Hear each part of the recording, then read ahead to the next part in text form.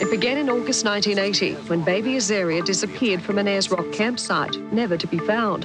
Her parents blamed a dingo. The police charged her parents, and Australia stood divided.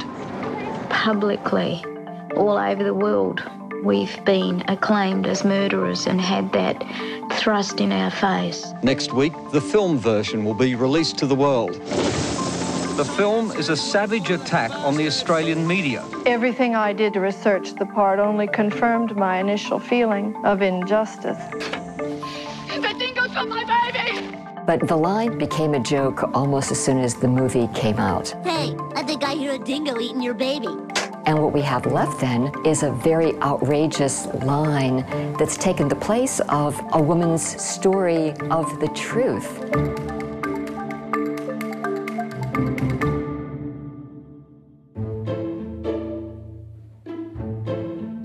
A full-scale search in the Ayers Rock area today failed to find any trace of a nine-week-old baby girl. The family from Mount Isa in Queensland were on a camping holiday in Central Australia.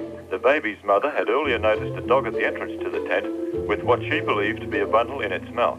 It now appears that bundle was in fact her nine weeks old baby girl. That moment was the moment really of greatest clarity in the history of the case. At that moment, everyone knew exactly what had happened to that baby. There wasn't time to go and tell people. I just yelled out, has anyone got a torch? The dingo's got my baby. As cases go, and I've covered a lot of them, it had everything. Handsome couple, the mythic Ayers Rock, baby.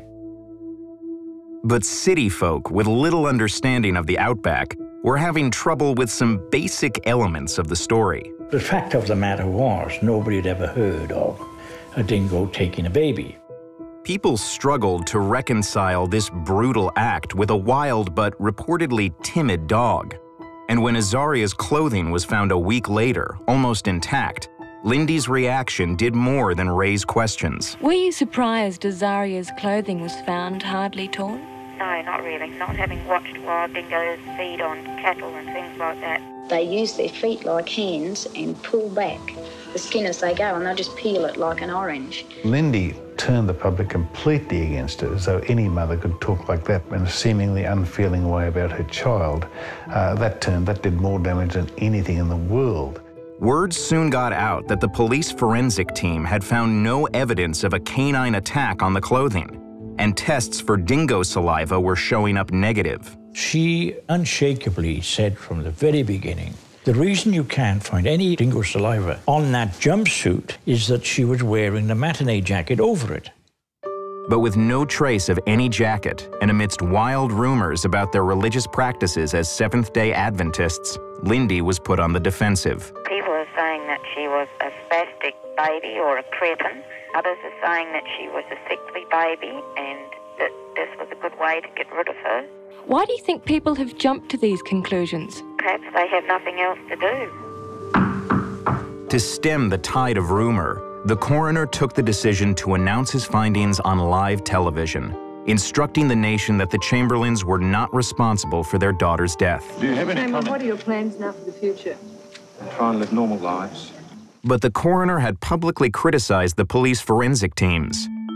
Refusing to accept his findings, they set about seeking a second opinion. After examining the baby's blood-stained clothing, Professor Cameron concluded the child's throat had been cut and said special ultraviolet fluorescent photography had revealed a small handprint in blood on the baby's jumpsuit. The findings of the first inquest were overturned, and a second inquest was called. But Lindy would face more than just new evidence.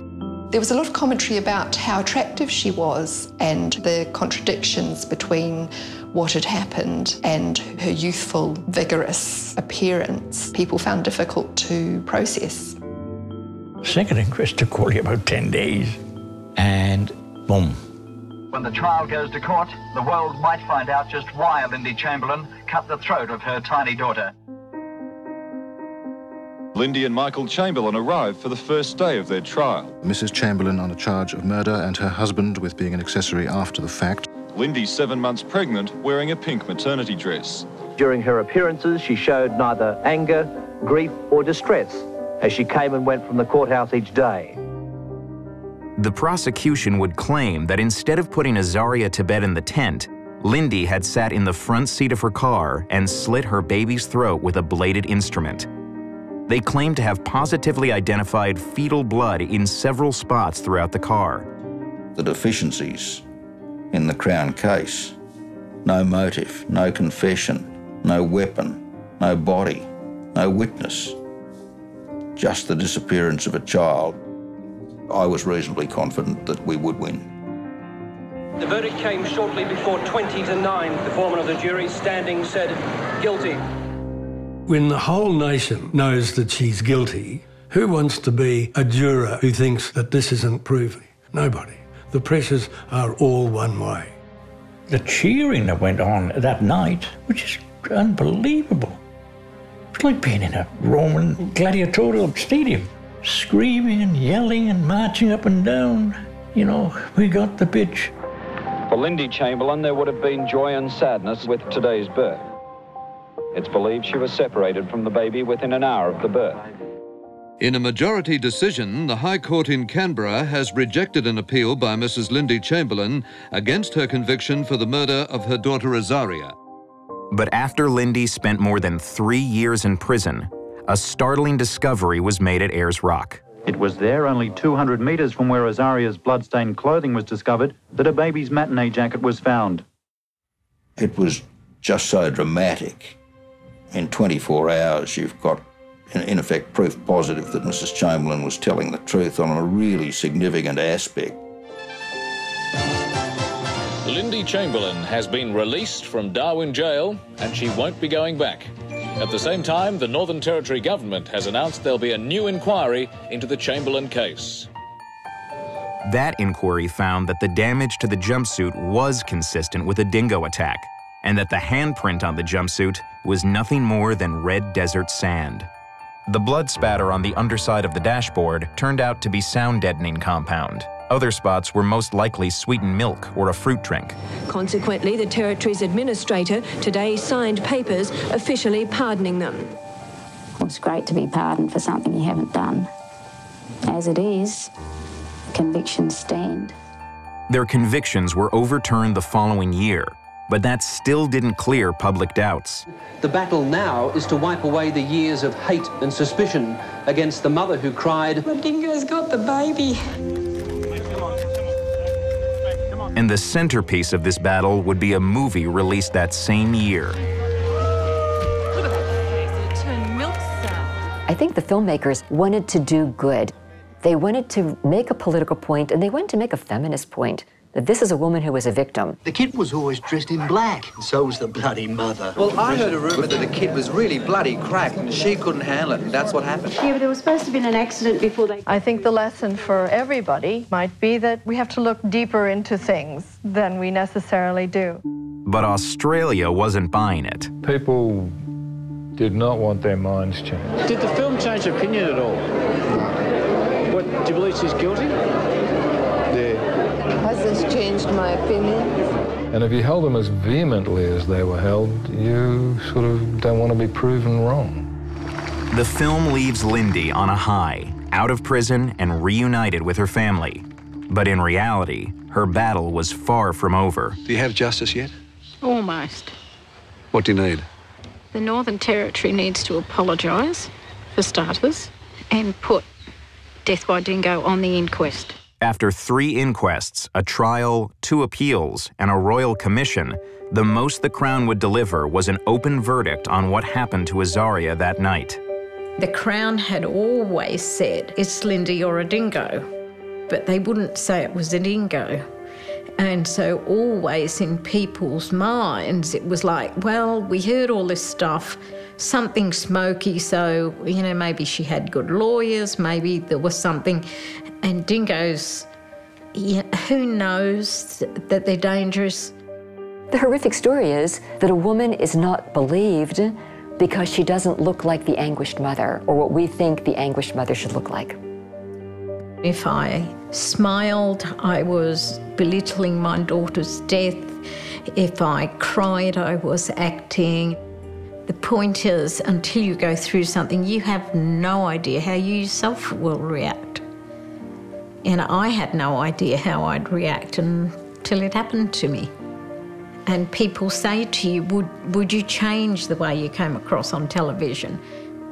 Well, given what I knew then and what I was going through, no, I wouldn't. I did the best I could with what I had. If you ask people today about that film and about the case, most Americans have very little idea of what actually happened. Far from revealing Lindy as the victim, the film backfired into making her a joke. Part of it was that Americans don't know what a dingo is, so the word is a funny word. What they did know was that this was once again Meryl Streep taking on a part of foreign ladies with funny accents. When it appeared on Seinfeld as a punchline, that took it to the national level. Tell my fiance I'm looking for him. I have lost my fiance, the poor baby. Maybe the dingo ate your baby. Seinfeld was very mainstream in a way that this movie was not. The dingo ate your baby. The dingo's got your baby. Dingo ate my baby. A dingo ate my baby. The more the joke took on a line of its own, the less it was that the American public knew anything. I'm sorry, a dingo ate your baby. You know that's a true story. Lady lost a kid. You about to cross some line. Lindy Chamberlain's story went on for decades after the movie. But her story of continued struggle wasn't the kind of story that pop culture likes to dwell on. In Australia, Lindy's battle centered around the initial sticking point. It was more believable to a lot of people that a mother would kill her child than that a dingo would. There seemed to be some kind of forgetting that humans don't control the natural world and that things can happen that are immediately disruptive and completely random. Since Azaria's disappearance, there have been hundreds of reports of dingo attacks, several fatal. Park rangers erected a warning sign this morning at the spot where a three year old girl was attacked by two dingoes. For the very first time, it struck home to the nation that it was dealing with a wolf like beast and not a dog like beast. The case most of us will absolutely never forget, but today there could finally be closure in the Azaria Chamberlain mystery. In 2012, 32 years after Azaria disappeared, the Chamberlains, now both remarried, got what they'd been fighting for when a new coroner found that a dingo was indeed the cause of death. We heaved a sigh of relief. It was just like all the strings got cut. Azaria Chamberlain's death certificate has now been officially changed to reflect the findings and perhaps put to bed once and for all a case which has intrigued the country for more than three decades. It will be interesting to see what it is that carries into the common memory, whether it'll be the facade of rumours that brought it all about, or whether it'll be the human tragedy and the terrible injustices that followed in its wake.